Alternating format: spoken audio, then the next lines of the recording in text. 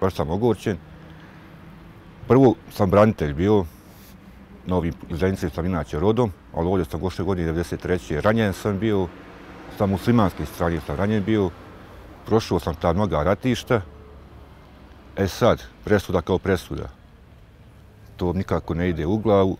Što su muslimani radili nama u Zenici, niko nije odgovarao za te zločine. Znači, baš niko. Ko odgovarao, oslobodi ga. A ova naša šestorka, jedna, koji su branili hrvatske prostore u Srednjoj Bosni, Herceg Bosni. Mislim, ono, ne znam više šta da kažem o to. Sad, sve tri strane ima loših stvari. Ali, to se tiče ovih presuda i svega ovoga, ja sam za to da se kazni svako kogod je zločin učinio. Bez obzira na naciju i eto.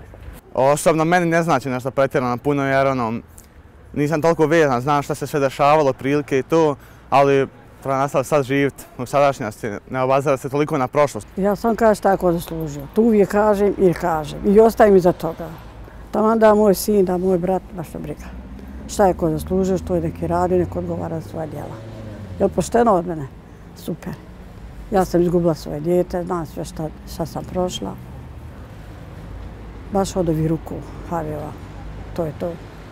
Selo Kruščica.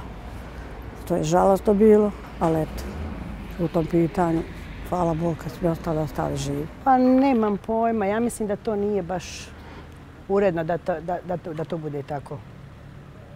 Da bude presuda tolika i ovo, ne, nemam pojma. Uglavnom, ne bavim se tim, nisam, nisam ta eh, da, da, da znam, ali u ostalom, ono, ako je zaslužio neko, ali ne vjerujem da jeste.